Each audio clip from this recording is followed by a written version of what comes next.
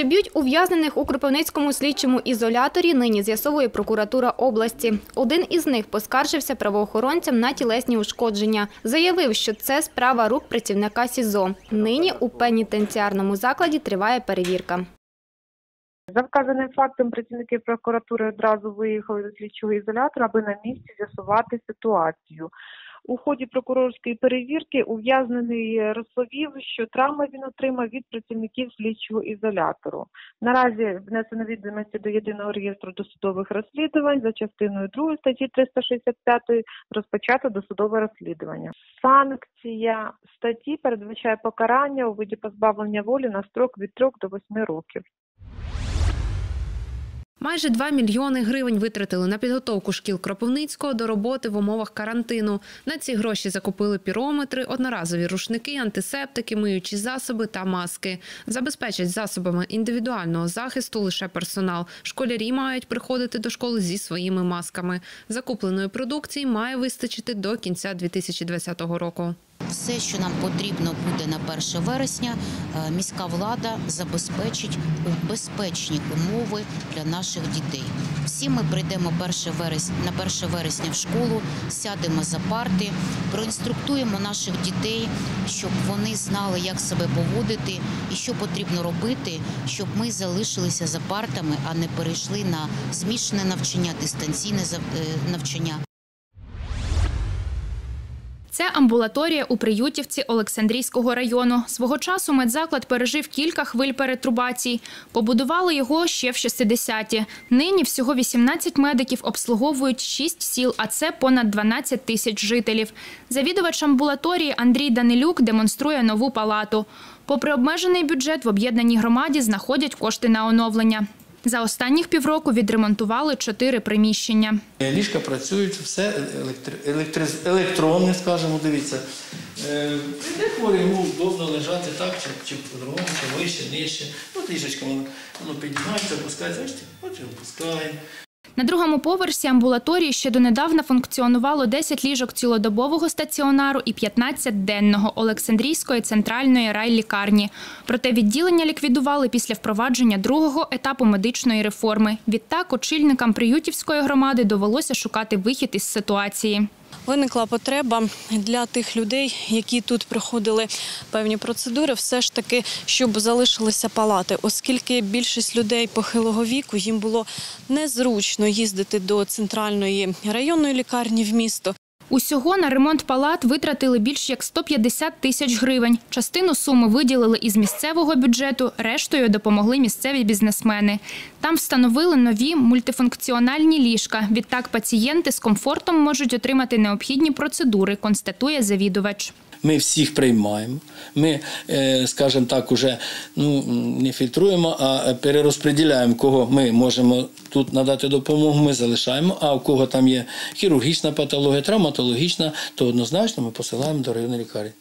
Денний стаціонар Приютівської амбулаторії може прийняти до 10 пацієнтів одночасно. Анна Гончаренко, Катерина Савінова, телевізійні новини СІБІН. Табір велодрімерів на власному подвір'ї влаштував житель Олександрівського району Олексій Ганшин. До Китайгорода з різних куточків України з'їхалися півтора десятка любителів їзди лежачи.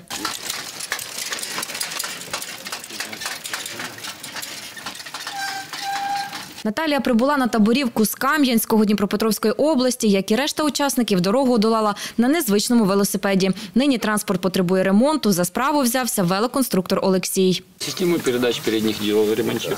Фактически у нее тросик вийшов із строя. Ремонт техніки та її вдосконалення – невід'ємна частина зльоту велодрімерів. Любителі лежачих велосипедів і велоконструктори з усієї України ось так на кілька днів збираються на Кіровоградщині вже десятий рік поспіль. Это огромная классная возможность поделиться опытом, ну и побыть в компании таких же, таких же энтузиастов. Все велики приезжают на дорогу, там э, все- каждый оставляет свой и берет чей-нибудь еще попробовать. И так мы э, несколько часов вчера и позавчера ездили по, по трассе, просто проверяя, проверяли разную технику.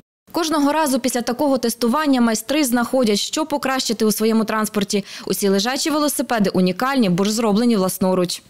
Е, Поїздивши на ньому більше трьох тисяч кілометрів, я зрозумів, що він дуже високий. Зараз я хочу його збалансувати, тобто трошечки нижче його зробити, чуть-чуть е, довший.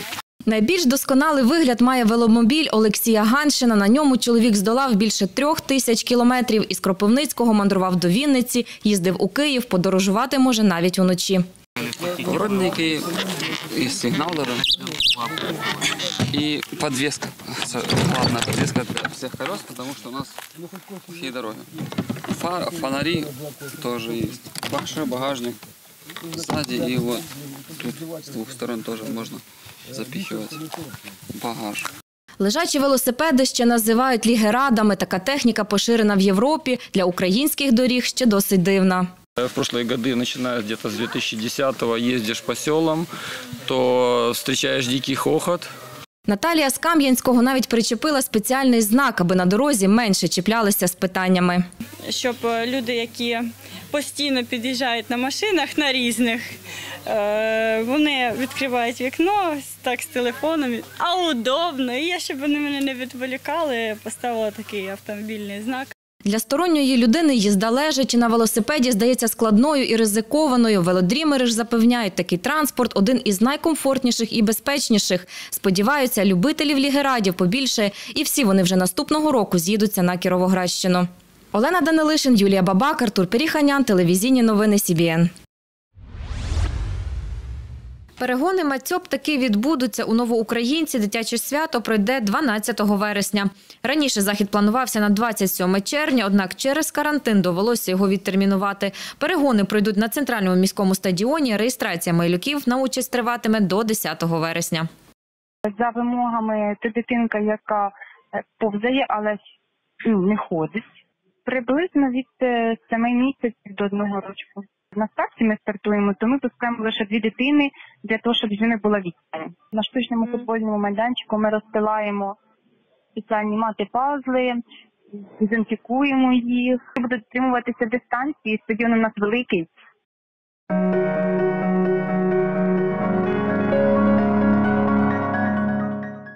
Вони творять історію своєї країни. Вони закохані у свою справу професіонали. Напередодні Дня Незалежності наша редакція знайомить вас із кропивничанами, якими може пишатися уся Україна. Моя країна професійна та незалежна.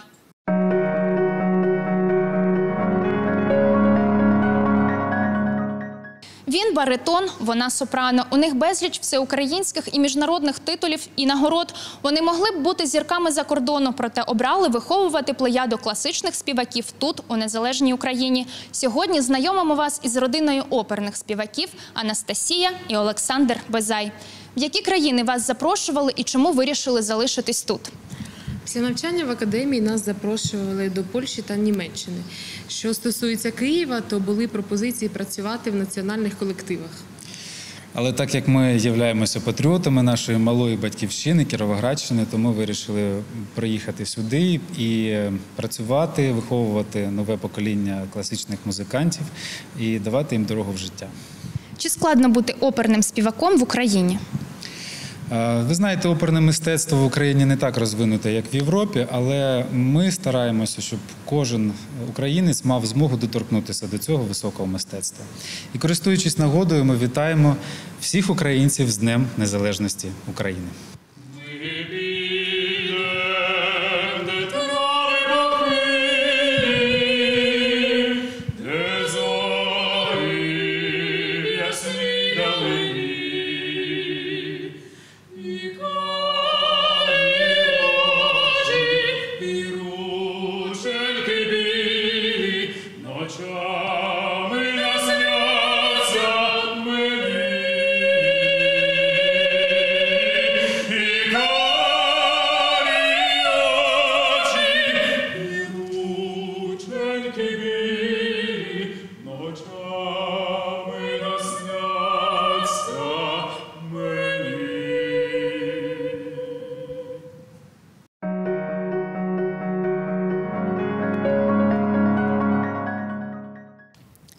Гори, моря, Таємничі печери, історичні пам'ятники і пейзажі, створені самою природою. В нашій країні безліч унікальних місць, які зачаровують і куди хочеться повертатися знову. Про свої найулюбленіші місця у незалежній Україні ми запитали кропивничан. В Миколаєві Соборна вулиця, да, найбільша пішохідна вулиця в Україні. Е, Тут Дворцова. Все Закарпаття, Карпати, Прикарпаття. От е, там і воздух, там і вода. В Одесі, напевно, Дерибасівська. А в Ужгороді це саме місто, саме пам'ятка. Недавно я побывала в парке в Приютовке в Александрийском районе. Меня очень впечатлил этот парк. А, Повсюду много цветов, э, красивых деревьев. Все засеяно зеленой травой. А, Но самая такая жемчужина этого парка – это водопад. Выложен весь камнями, тоже разные растения. Ну, Меня очень впечатлило это место. Я очень хочу вернуться туда еще. Ну, Київ, звісно, це там традиційні ті хрещатики, узвози. М, е, Кіровоградщина, ось Скіфія недавно була. Я в захваті, просто в захваті. В нашій області теж є дуже багато мальовничих міст, які можна відвідати. Це і каскади, от, які знаходяться, здається, це Маловиськівський район. От, і дуже багато таких е, кар'єрів. Я взагалі дуже люблю Львів. От і мені там найбільше подобається якраз площа перед оперним театром. Це ем, дуже гарно, тому що у нас е, так само місто е, пов'язане з театром, з історією театру. От тому це ніби я просто навчаюся у Львові. От тому це ніби частинка рідного міста у Львові.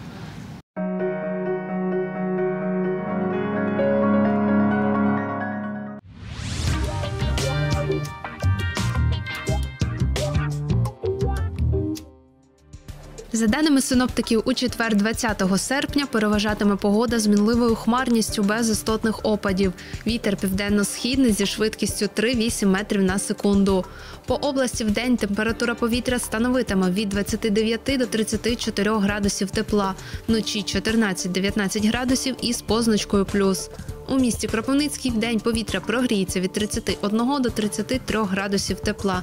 Вночі температура повітря коливатиметься від 16 до 18 градусів вище нуля. Радіаційний фонд по місту складатиме 14 мікрорентген на годину.